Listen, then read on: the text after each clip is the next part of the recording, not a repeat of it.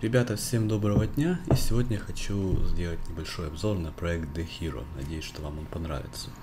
Итак, мы сейчас находимся в главной странице данного сайта, вот и видим сразу всплывающее окно по этому проекту.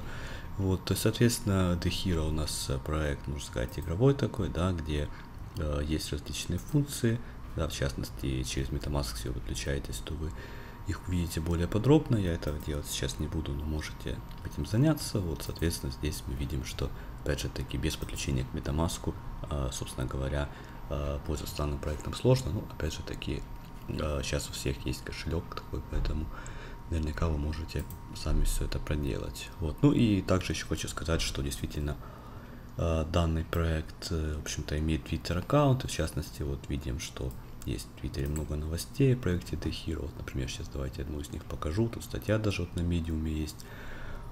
Вот, соответственно, советую тоже все это почитать. В частности, информация здесь есть про токены да, данного проекта. Вот, поэтому, соответственно, подключайтесь и узнавайте уже все детали. В общем-то, это думаю, что вам понравится. Ну что ж, спасибо за просмотр такого небольшого обзора. Надеюсь, что вам понравился. И до встречи.